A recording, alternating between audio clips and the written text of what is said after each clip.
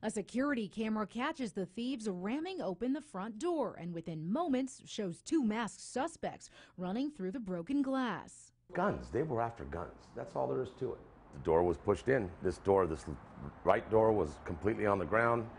That left door was bent in and the glass was all laying forward. It happened just before 6 early Sunday morning. Laguna Guns and Accessories owner Andrew Tonis got the call a few minutes later. So they're running through the shop trying to figure out where the guns are at and they can't find them. And in the video, we see the three suspects try to break down every door from the office to the bathroom. They even use a hammer.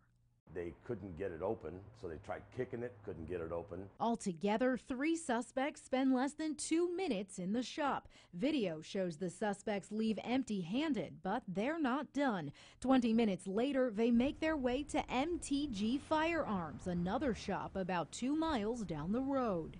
When they are hit, of course, it's, it's alarming because we don't want guns to get in, into the hands of you know, bad people. Detective Casey Robinson, Elk Grove PD, says thankfully that won't happen this time. It's good to know that uh, the suspects in this case weren't able to get away with any firearms. What happened over here?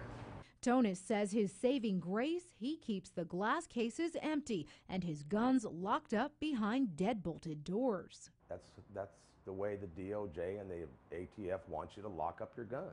Tonis hopes the video can lead police straight to the suspects and wants gun shop owners to take note on how to store their merchandise securely.